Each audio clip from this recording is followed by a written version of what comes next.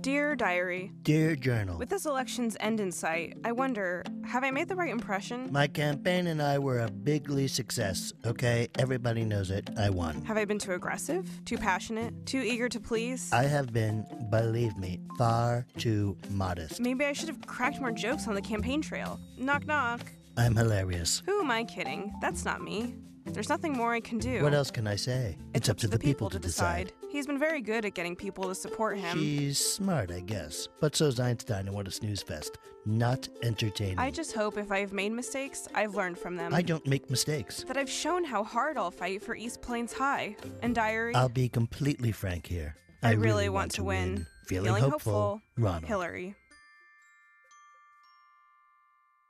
Dear Diary, I know I'm not like other girls. I'm not afraid of boys.